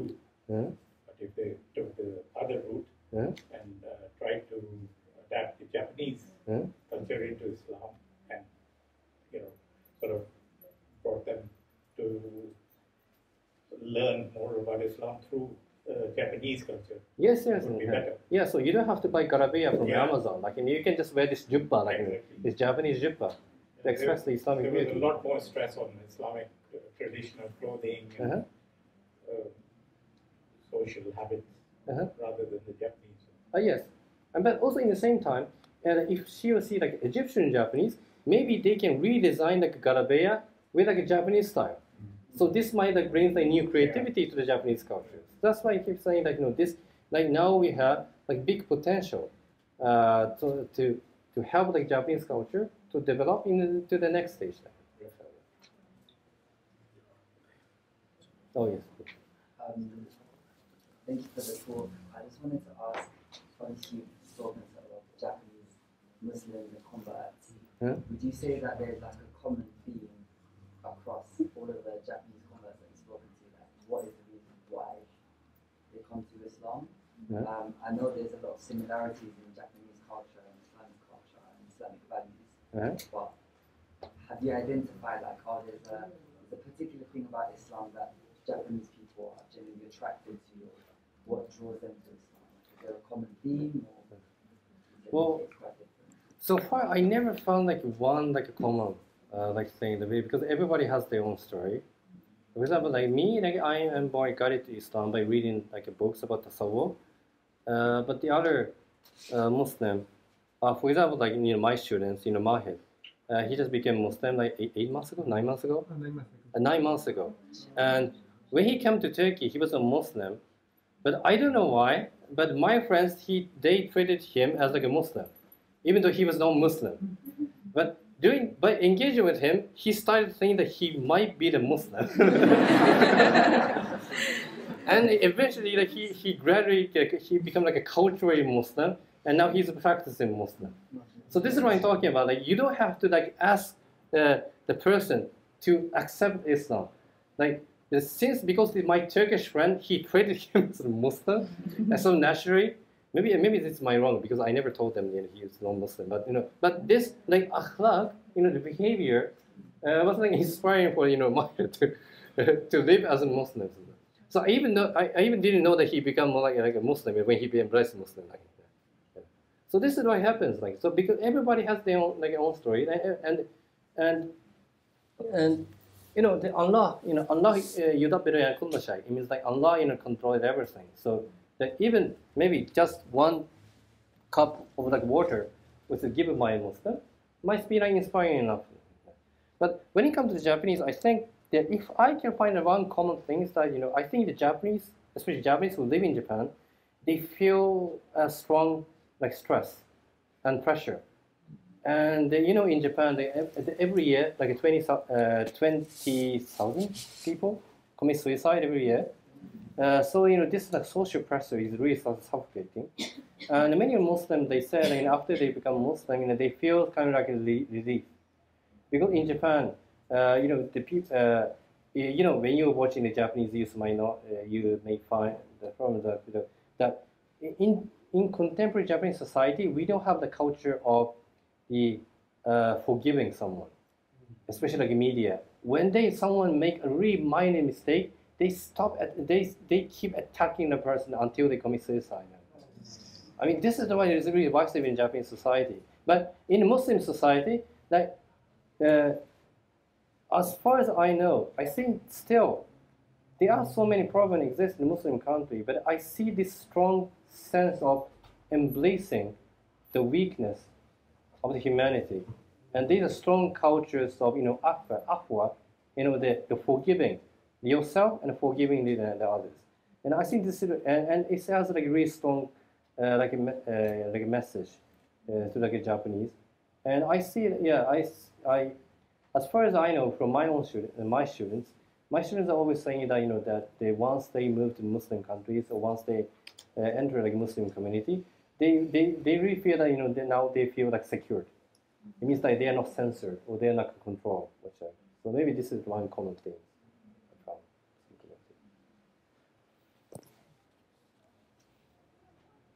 Question? Yeah, khairan and barakallah feek. It's a slight follow-up question to what you were just mentioning about uh, passive dawah. Like you can tell someone about Islam Mhm. without actually speaking directly about Islam. Mhm. My question is, what do you think for the Japanese people the best way is to give da'wah to Japanese people? Best way to get dawah is, I think, this is just my opinion, but I think the best way to dawah is that instead of like preaching Islam, I think we should be stay with them. I think, yeah. They show them show this culture of like ahwa, you know, show them the culture of embracing and also like forgiving. Right? I think this uh, this is the most influential way to show the spirituality of Islam. And for example, like my, myself, you know, when I become Muslim, I also feel loneliness in Kyoto because there is no big Muslim communities. The one thing that I really strongly remember is the biryani, biryani in Ramadan, because they, every at the, every every evening at the time single. So you know, every time I go to the masjid, these Pakistani brothers they always pre- prepare like the tons of the biryani, and for the for, uh, for the brothers, and I still remember the taste of it. Uh, because I never saw such a beautiful culture in the other region. I mean, not just in the other region, but still, like this taste of biryani is the. Uh, uh, if I don't have the, if I don't have the biryani, I'm sure I will quit the, being Muslim. just, just question. No, I'm pretty sure. I'm just really serious. Yeah. Because that's why you know in tasawwuf, you know they they, uh, they they use the word you know zawq. Zawq means like taste. Means like this taste of Islam is really important. Not just like it preaching Islam. That we should offer that the life-giving uh, like taste of an Islamic spirituality. That's very important. So so my advice is that you can make shawarma or biryani, and if you get Japanese, it's my empire. No, I'm really serious. Thank you. Just, just Yeah, a quick. Ah, please. No, go ahead. Oh, I've already done one. man. That was a quick, quick one about. Okay. Uh, how was it learning uh, Turkish from Japanese? Because I know they have the same grammatical structure, but Oh, Turkish is really easy. Uh, because grammatical structure is also the same. So, for example, 私は学校に行きます。ね I go to school. Means, in Turkish, Ben 奥田ギリオルン。私は Ben 奥田学校へギリオルン行きます。It's same. because the, the orals and this is completely same. So that's why in for Japanese, uh, the only thing we have to do is just memorize the words as much as possible. But when it comes to Arabic, Arabic almost killed me. Like it's so difficult. yeah, I studied it also in Jordan, but it's so difficult, and especially the Fusha, because when I Egypt, the one of the shocking thing is like that when I speak Fusha, people laugh at me. I said Ana urid hadar kitab, and Egypt said Ha hada yabani qara Ana urid hadar ha ha ha. But I, I like the Egyptian because I, I, I yeah, in Arabic we call the khafif dam. It means like really like cheering like spirit. Like I, I especially I really love Egyptian mother like because their like expression of love is really like uh, uh, still. Yeah, I still remember that their warm like welcoming when during Ramadan. It's one of the most beautiful. I just wanted to say thank you and have a comment. Like, uh, when, like in Naqshbandi practice practice, they have a concept siesta, Mhm. which I never truly understood the concept. Mhm. But until you put the picture of, uh, uh, you know, your animes, Yeah. uh, your illustrations with uh, Safra Darqadam, Mm. and then, you know, growing up uh, as a child or like growing up watching Japanese movies, you would always see, you know, the shogun or the samurai just walking around Japan and coming to adventure. Mhm. Uh, that finally clicked to me, like why. Ah, yeah, I remember that picture as well. Yeah. Yeah. So, thank you. Yeah. For example, do you do you read a Vagabond? It's a Japanese manga. I Vagabond. haven't read it, but- Oh, it's a manga about the uh, famous samurai warrior called uh, Musashi Miyamoto. Oh, yeah. And I interpret that. right? Yeah, I interpret the whole story of Vagabond is Safar Darakawata Uh, or Nazar bar qadam. yeah, and that. Right, and they they they they're observing yourself, and also like it's about like spiritual journey. So yeah, like if there's an artist in here, I really encourage to to draw like like Muslim manga or Islamic manga because this is really influential uh, the medium right now. Uh, do they have name, your characters? Uh, Specific names? I haven't thought a specific name yet, but one of the students said, you know, one of Turkish students says that, you know, the one who said that, you know, now, especially like uh, conservative, like Muslims are so misrepresented in Turkish TV series. And she said that, uh, especially like secularist, like TV, Turkish TV series, they always put the name Fatima to the conservative, like Muslim like character, and her name is Fatima, and she said that she got bullied when she was children, uh, because the children were, were, you know they mock, they mocked her because she she, she has like, the name Fatima, and she said that oh since you have the name Fatima, so you're gonna you gonna stay in the house for, until the end of her life. So that's why I have decided I, I would definitely put the, the name Fatima in one of my characters. Like, Yeah. Actually, like strong, like My name is Fatima. Oh, You should. yeah, thank you. Because I should be, and, and as I said, you know, now you know, children are fighting in the schools, and children are you know, facing lots of challenges. So you know, we need to encourage the children uh, to the, to say that being a Muslim is cool, and practicing Islam is cool, and memorizing this Islamic class is cool. You know, we have to show that you know, before talking about the correctness of Islam, you know, we have to encourage that you know, this being or uh, living as Muslim is cool, and we lack this kind of like, uh, like a culture, like entertainer like a culture. So this is why I mean, I know uh, I'm designing the hijab ninja series. yeah, and this is why you know I encourage to buy these pictures and bring bring it home. Okay. I'm, I'm not sure if you're familiar with Space Tune. Spacetoon? Yeah, because there's something so funny. I don't know if people know it. Like Huh? they uh, translate Japanese cartoons into Arabic. and Oh, like they- Conan? Conan into Yeah, yeah, yeah, Detective and, Conan.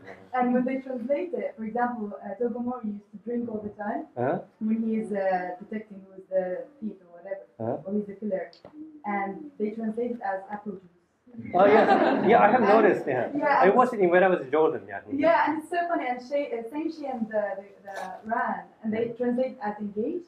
Oh, really? Yeah, Oh, yeah. I so didn't know that. So halal, halalified uh, Japanese. Yeah, it's good. And we grew up watching it, taking Yeah. the good part of the culture because Yeah. they show you the, the things that you mentioned, like the having a muallim, Huh? being someone with good character. Um, so I, I I was just curious if you know about this one. Ah yes. Do you know anime called Grendizer?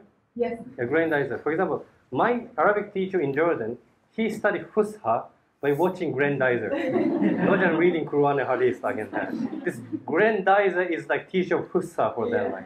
And also like Captain Majid, you know, Captain Tsubasa, or Conan, Yeah. or like uh, or Bakugan, like toys and everything. Like they, especially, it's- they, this Japanese culture is not only like uh, uh, not only for the Japanese audiences. Like you know, I, now I can clearly say that the Japanese language, Japanese manga is becoming like a lingua franca, even in Muslim communities. So that's why you know, we need to use this medium. I mean, not only just halalifying, you know, they detect the Conan, you know, we can create our own like, fictional characters. But I think that Al Jazeera is doing the kind of the creative stuff in that.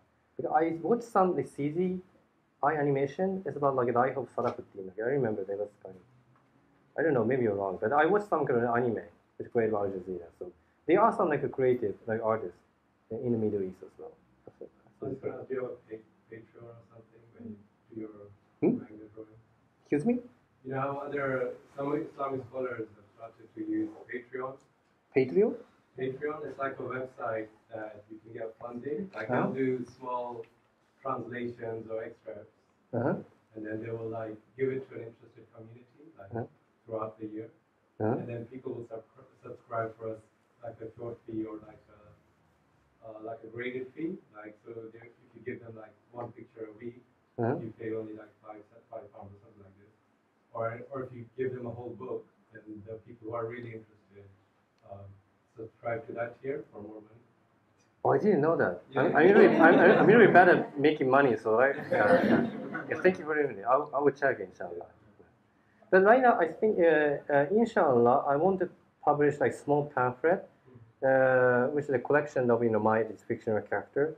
Uh, if I can find a publisher in the UK, it would be really great. Uh, so yeah, and once I publish it, I'm trying to write like a like really small novel by using those fictional characters. So this is also like a long step. Like I'm not trying to create like a, like a Lord of the Rings within like one month or like one year. Like and I, I decided to do this project as my like a lifelong thing. But, yeah. Oh yes. Last one.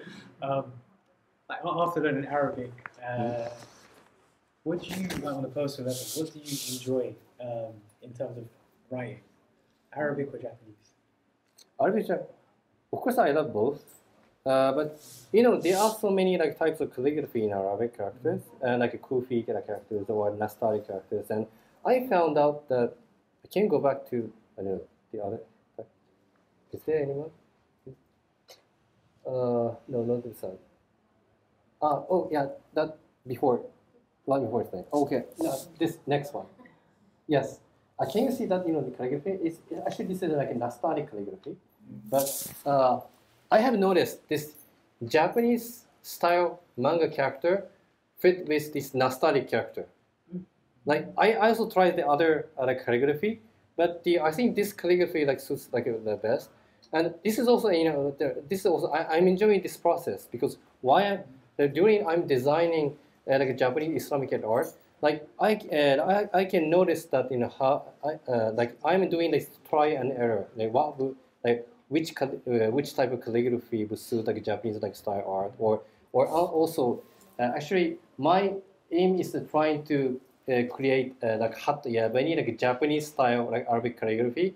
That's why can you see the, those two dots in perfect like uh, yeah that I think that pattern is actually uh, like based on like a Japanese like uh, or East Asian pattern of the yin yang, yeah, yin yang character. So this is how I I gradually trying to design like Japanese calligraphy. So this is no uh, what I want to say is that in most of the cases now I don't have the clear answer, but I'm enjoying this process itself, like process of imagining the Japanese cultures, and this is what I'm encouraging the children. Like you don't have to reach the answers.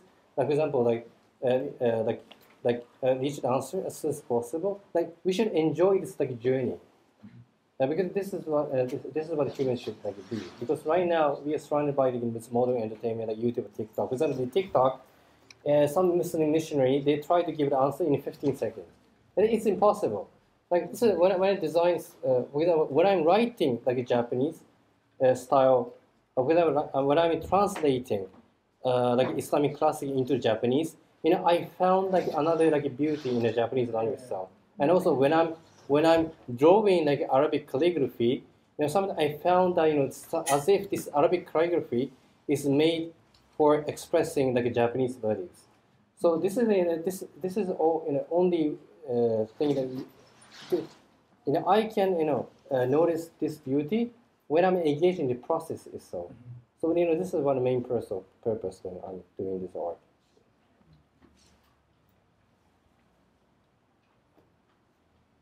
Okay, if there is no question, then I will show this T78.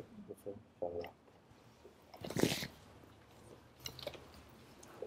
Uh, you can see the picture later.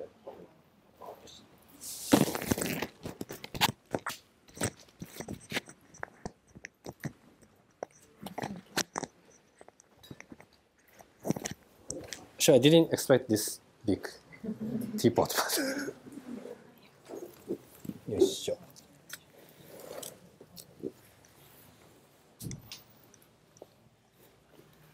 よいしょ。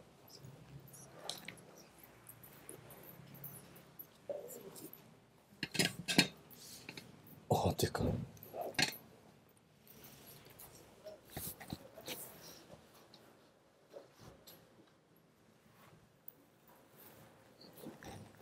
So I have so from now on I would like to show this Japanese tea ceremony demonstration. And and as I said, you know, I found that this Japanese tea ceremony could be like a best medium to introduce the, Jap- the Islamic spirituality because uh, there are so many like similarity between Japanese Islamic culture and Japanese culture. And one of them is that, for example, this is my grandmother's certificate of the tea ceremony. So in order to perform this tea ceremony, you know, you have to still take education uh, under like uh, like a certain like sheikh, like mu- murushi, like master. And my grandmother is also a tea master, and this is certificate when she finished uh, like an introduction of the Japanese tea ceremony. And this is my certificate. Uh, for example, now, so there are total like eight levels in my the Japanese tea ceremony, and in order to become master, you have to finish at least a four level. And I just finished the first level, and it takes five years. So another. So you so in total forty years. So it means another for 35 years. I'm, three, I'm 33 years old.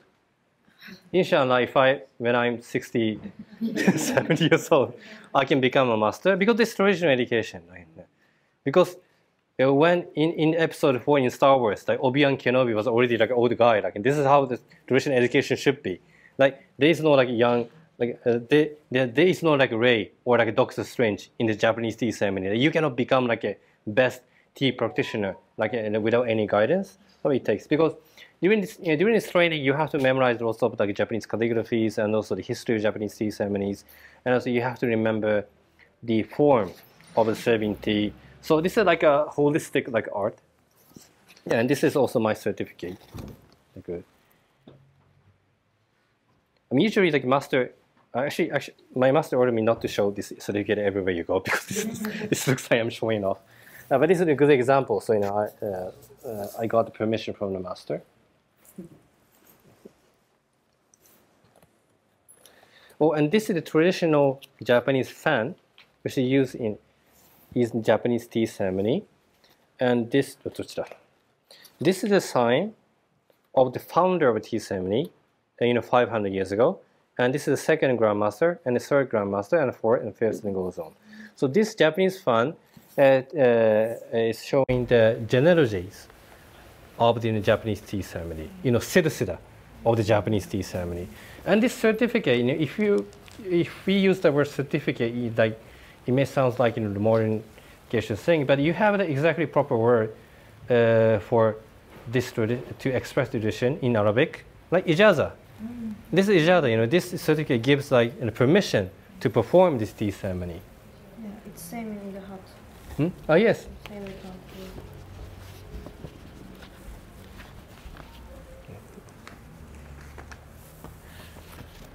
So today, you know, the, uh, this tea ceremony is called is called Bonryaku Demae. Bonryaku Demae is the uh, like simplest like tea ceremony, uh, like performances in, in, my school, like Urasenke, like a tea ceremony.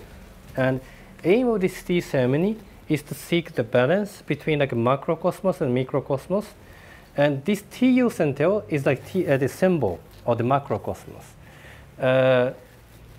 Because uh, this, you know, in ancient like East Asian philosophy, uh, they believe like five major elements like are composed in this universe. In the fire, it's mean like uh, it's like same in Naruto. Uh, like it's a fire, water, wind, tree, and the earth.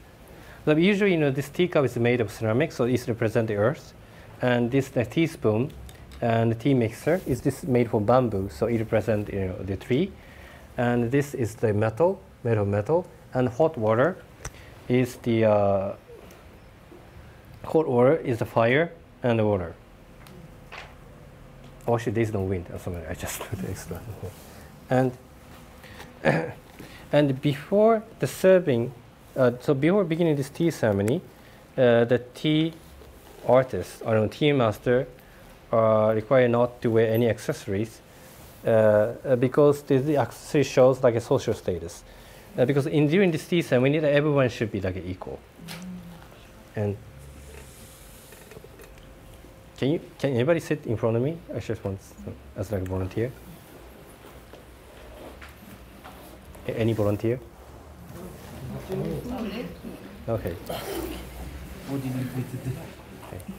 So before starting tea ceremony, uh, the master and also the guest or the students will bow each other. Can you say よろしくお願いします？ You say say slowly. はい。 Yavash, yavash. Okay. よろしくよろしくお願いします。お願いします。よろしくお願いします。It's really difficult to translate in Japanese, like actually, but in this constant context, it means like thank you very much for giving me such great opportunities. And the important thing is that not only from the students to the masters, but the master also should show the gratitude to the students. But this is based on the yin yang philosophy. It means that there is no master without students, and also there is no student without the masters. Like like like Jiraiya Sensei Mhm. in Naruto. There is no Jiraiya Sensei without Naruto, and there is no Naruto without Jiraiya Sensei. So this is how the uh, Japanese believe at a traditional education, and and then uh, the master will start the ceremony. ceremony. 難しいのこれ できるかな Stop. And the first task uh, you will learn when you enter this tea ceremony is how to fold this special like tea ceremony like handkerchief. Actually, do you want to try? Okay. Okay. So we use these tea handkerchiefs to polish uh, this tea container and teaspoon. But we'll show. This one side which is not uh, sewed. So can you put this part in the right side? This. This side? Yes, this side. And and can you fold like this? Mhm. There you go. And this. Like this? Yes, and this. And please put it on the left side, uh, left hand, Left hand. and open. Okay. Yes. Yes. So, Oh, and then. Yep. please wait. I will show until the last.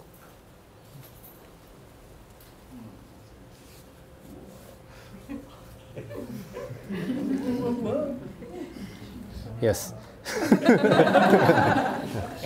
so this is how hold the handkerchief. So I will just I will do this very slowly.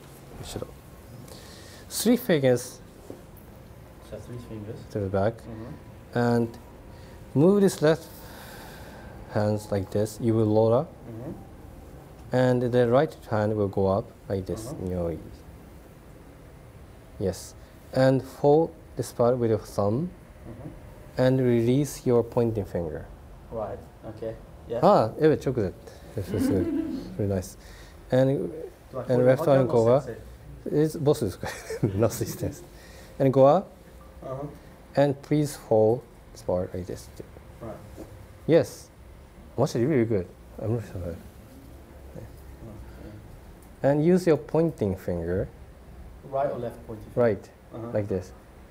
Or you can you, you can just release right finger, right hand, like this. Do it like that. Ah, You can just release hand. This means my master told me told me this means the oneness purifies everything. Oh. Like oneness purify everything. Like oneness purify everything. It means the oneness will purify this whole process. Mhm. So this is so you put like this prayer when you fold this handkerchief.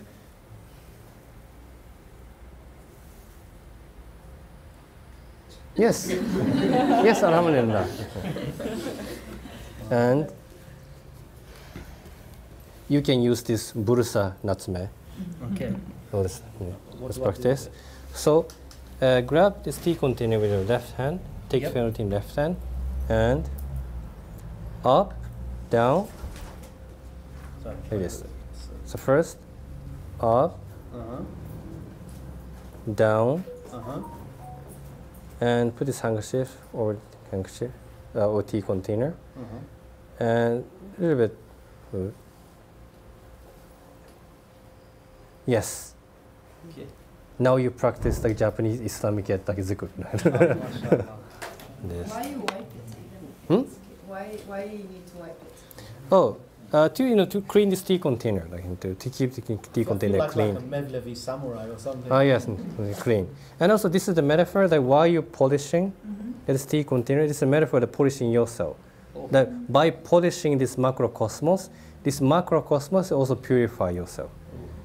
And uh, and also you know when we fold this handkerchief, I the tea artist put the prayer like oneness purify everything. So actually this oneness purify this macrocosmos and also the microcosmos. And maybe like Muslim can put like Islamic like message into this practice as well. Yeah, thank you very much. So now you entered my tariqa then. Arigato. it's not like here. Sure.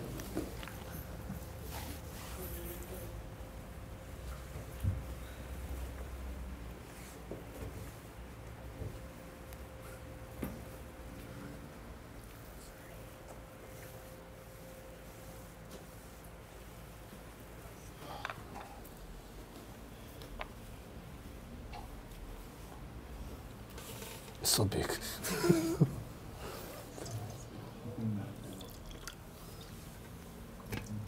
Is it still hot? Oh, okay. Oh, I made a mistake.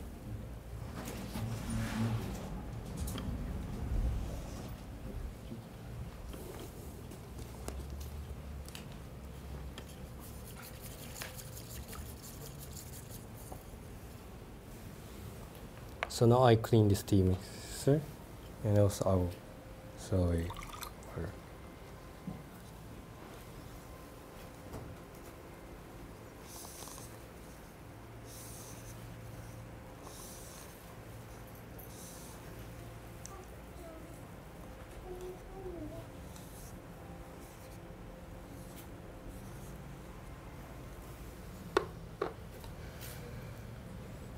Yes. Then, then if this is like official tea ceremony, uh, usually the tea artists will serve like sweets. So and they will say like okashi o dozo. Okashi o dozo means now you can eat the sweets. And these sweets represent the sweetness of this life. And the matcha represent like a bitterness of this life. Uh, so it means that so, the, so that's why this tea ceremony is like art of the like embracement, like the art of embracing the reality of this life. So you also like face like sweetness, and you also have to accept like bitterness. Right? So, so this tea ceremony is actually like represent the uh, spiritual like a journey of the human uh, development. Yep.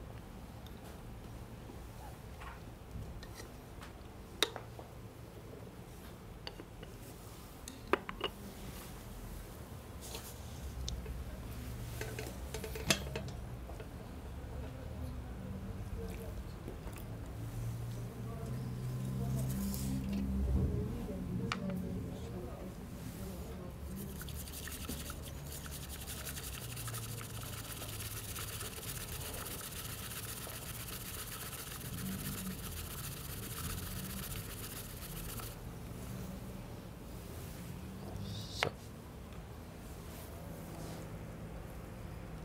Okay, please, どうぞ。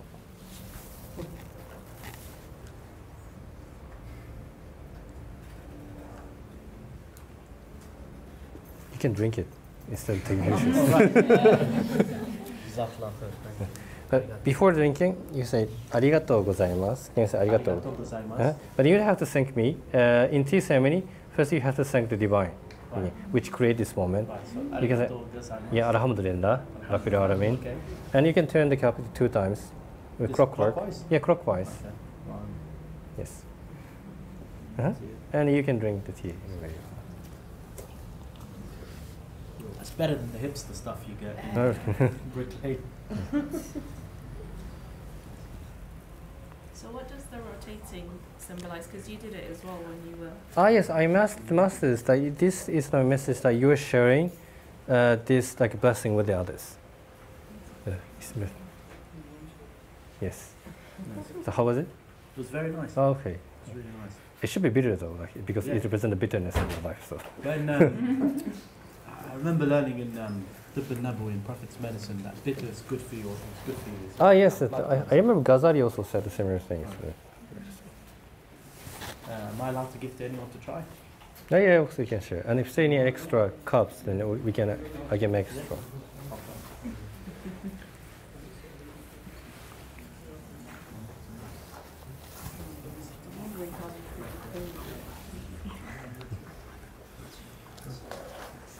Anyone want? Um, in Japan, is it something both men and women learn in equal measure? Because quite often I see women learning it as part of like etiquette training.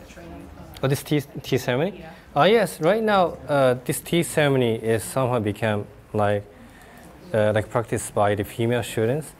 But actually, this the tea ceremony was the like samurai culture. So before the modernization, uh, only like men were like studying this tea ceremony. But after the modernization, uh, this the tea the tea artists they open this education to everyone. So that's why, they, especially the Japanese family, they started to use this tea ceremony for the education for the female. Like. But usually it's open for both right now. Yeah, And you find in modern society it's both, both will learn it, or do you find actually less people are learning it? I think less people are learning. it. I'm sure this, this culture will die in within 50 years. so I may be like a last like a tea artist. Like, uh, So this is why I said that I think Muslims should engage in this traditional art uh, to, to, to revive these traditions. Like, yeah. Oh, okay. This is. I have a question because when I, when I was younger, I used to do a lot of Japanese martial arts, Uh-huh. and they used to have these traditions where you almost like prostrate to somebody, Uh-huh. um, and you look and you kind of like look up. So as a Muslim, do we have like a, you know, because some Muslims will say you can't bow and everything. Uh-huh. How do you kind of like navigate those aspects of culture? No, you just don't have to bow, to be honest, because it's not obligatory. No.